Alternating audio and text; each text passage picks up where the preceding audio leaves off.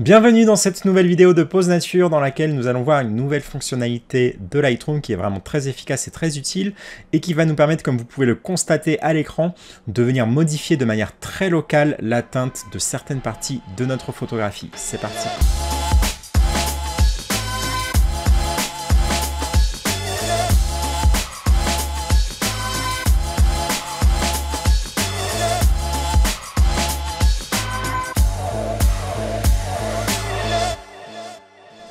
Alors cette fonctionnalité est apparue sur la version de juin 2020 de Lightroom, donc vous n'y aurez pas accès si vous utilisez une ancienne version de Lightroom et que vous n'êtes pas abonné au système de, euh, du Creative Cloud qui permet d'avoir les mises à jour des fonctionnalités du logiciel. Mais avant de vous expliquer euh, comment fonctionne cette nouvelle fonctionnalité, je vais vous expliquer surtout pourquoi eh bien, il était très difficile avant cette fonctionnalité, ce nouvel outil, eh bien, de venir comme ceci changer de manière très locale la teinte d'un objet. Donc pour vous montrer euh, ce principe-là, je vais ici repartir de la photographie de base. Et en fait, avant juin 2020, si on voulait vraiment changer la euh, teinte par exemple de ces petites fleurs violettes, eh bien on avait beaucoup de possibilités et il fallait vraiment passer par Photoshop pour le faire de manière très précise. Tout simplement parce que les seuls outils qui étaient à notre disposition pour changer la teinte d'une certaine couleur sur la photographie, et eh bien c'était l'onglet TSL qui se trouve ici. Vous voyez que si je viens cliquer sur l'onglet TSL, nous avons accès à différents onglets que sont la teinte, la saturation et la luminance et nous avons surtout accès à des euh, curseurs de couleurs qui nous permettent, lorsque l'on va venir déplacer ces curseurs, et eh bien de changer uniquement notre teinte sur les couleurs que nous avons sélectionnées. Et typiquement ici, le problème de cet outil, c'est que ça agit de manière beaucoup trop globale puisque ça va agir sur l'ensemble de la photographie. Alors pour vous expliquer ce problème, je vais venir ici changer la teinte de mon violet. Vous allez voir que ça va bien changer la teinte de mes fleurs, mais le problème c'est que ça agit également sur les autres teintes violacées de ma photographie, notamment celles qui se trouvent en arrière-plan. Vous voyez ici que j'ai des taches roses qui sont apparues dans mon arrière-plan parce que, eh bien, il y avait des valeurs de violet dans mon arrière-plan et donc le curseur a également changé les teintes sur euh, ces parties-là de la photographie. Et ça, c'était quelque chose qui était vraiment très embêtant sur Lightroom parce que, eh bien, on ne pouvait pas changer que, certaines parties vraiment très précises de l'image, il fallait absolument passer par Photoshop pour faire ça, alors que c'est euh, quand même quelque chose qui est assez simple. Et donc depuis 2020, c'est une fonctionnalité qui est euh, disponible maintenant via notamment les outils de développement locaux. Alors les, outils de développement locaux, ce sont le filtre gradué, le filtre radial et également le pinceau de retouche. Et vous allez voir que lorsque je vais en activer un, alors ici pour le besoin de ce, euh, de ce cours, je vais utiliser ici le filtre radial. Vous voyez que lorsque je vais activer mon filtre radial, nous avons des nouveaux euh, réglages qui sont disponibles. Et nous avons surtout ici le nouvel onglet qui apparaît. Donc ici, c'est la nouvelle fonctionnalité qui est présente depuis juin 2020 et qui correspond à la teinte. Alors pour vous expliquer comment ça fonctionne, je vais venir ici tracer un filtre radial afin de sélectionner mon, euh, ma petite fleur. Alors je vais ici inverser mon filtre radial pour que euh, l'effet se joue à l'intérieur de euh, mon cercle. Alors pour activer ici cet aperçu, il vous suffit de cliquer sur la touche haut. Vous voyez que ça vous permet de voir où va agir votre effet. Donc ici, faites attention à bien sélectionner inverser. Et je vais donc maintenant pouvoir ici changer le curseur de teinte, la nouvelle fonctionnalité de Lightroom. Alors si je viens changer ici le curseur, vous allez voir qu'en l'état, ça va poser certains problèmes puisque ça va bien nous changer uniquement la teinte de notre fleur que nous avons sélectionnée, mais ça va également changer la teinte de l'arrière-plan. Je vais essayer de zoomer un tout petit peu plus dans ma photographie pour vous montrer comment ça fonctionne. Mais vous voyez ici que la partie dans l'arrière-plan est également changée, la teinte est également changée tout simplement parce que sur mon filtre radial, nous n'avons pas retiré ici l'arrière-plan.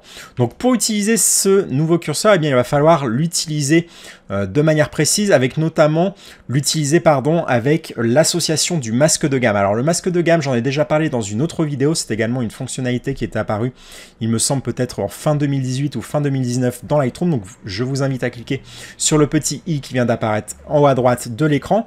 Mais vous allez voir que ce masque de gamme va nous permettre vraiment d'aller sélectionner uniquement les parties qui nous intéressent. Alors je vais ici réinitialiser ma teinte, je vais également enlever l'affichage, euh, pardon, je vais activer mon affichage rouge et je vais venir, ici, pardon, activer le masque de gamme de couleur et avec la petite pipette qui se trouve ici, je vais venir cliquer sur mon violet afin de ne sélectionner uniquement que le violet de ma petite fleur. Alors vous voyez ici qu'il a exclu certaines zones parce que euh, lorsque l'on vient cliquer une seule fois sur la photographie, eh bien ça va nous sélectionner vraiment qu'une seule teinte de violet.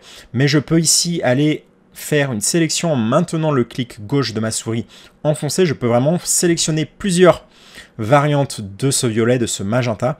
Et vous allez voir que maintenant, eh bien, Lightroom m'a bien sélectionné uniquement ma petite fleur. Si par exemple je viens augmenter l'exposition ici, vous voyez que ça n'agit uniquement que sur ma petite fleur et que ça a complètement exclu l'arrière-plan. Donc une fois qu'on a fait ça, eh bien, on va pouvoir utiliser vraiment cette nouvelle fonctionnalité de manière très précise puisque nous savons maintenant que notre sélection est uniquement faite sur notre fleur. Et donc, si je viens changer ici la teinte, et eh bien, vous voyez que je vais changer la couleur uniquement de ma petite fleur. Et si je dézoome, vous voyez que le reste des couleurs magenta n'ont pas été impactées par cette modification. Donc, c'est vraiment un outil qui est vraiment très intéressant, qui est apparu, donc je le répète, en juin 2020 et qui nous permet vraiment de jouer de manière très locale sur les teintes de certaines parties de notre photographie.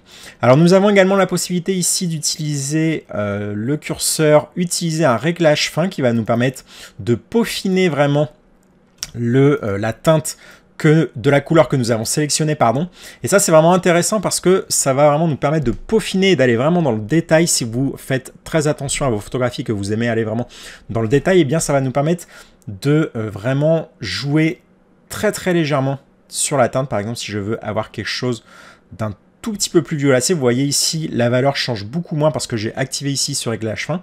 Eh bien, ça va vraiment me permettre de peaufiner la teinte de ma fleur. Par exemple, si je pars ici sur un, un violet un petit peu plus violacé, un petit peu plus magenta. Vous voyez, c'est très subtil, mais ça va vraiment nous permettre d'aller peaufiner certaines parties de notre photographie. C'est intéressant, et surtout qu'on peut le cumuler ici avec les autres réglages. Si par exemple, je viens diminuer la saturation, eh bien vous voyez qu'on va partir ici sur un magenta qui est un petit peu plus pastel que la version de base. Ici vous voyez on a quelque chose d'un petit peu plus saturé, un petit peu plus bleu et ici on a quelque chose d'un petit peu plus euh, désaturé dans des teintes un petit peu plus pastel. Et ce qui est intéressant également avec ce masque de fusion, avec ces outils de développement locaux, c'est que si par exemple je veux ici sélectionner la deuxième fleur, eh bien il me suffit de venir augmenter mon filtre radial afin d'englober ma deuxième fleur. Et comme j'ai ici un masque de gamme qui est activé sur la couleur magenta, eh bien vous voyez que ça va me compléter ma sélection, ça va me compléter mon filtre radial pour venir sélectionner la deuxième fleur également pour le euh, rajouter l'effet que nous avons créé. Donc voilà, c'était tout pour cette nouvelle fonctionnalité de Lightroom qui est donc apparue en juin 2020, qui permet donc de peaufiner la teinte euh, de certaines parties de notre photographie sans passer dans Photoshop. Moi, c'est quelque chose que j'attendais depuis très longtemps parce que c'est vrai que c'était un petit peu embêtant de devoir passer la photographie dans Photoshop pour ce genre de manipulation qui est assez basique et assez simple.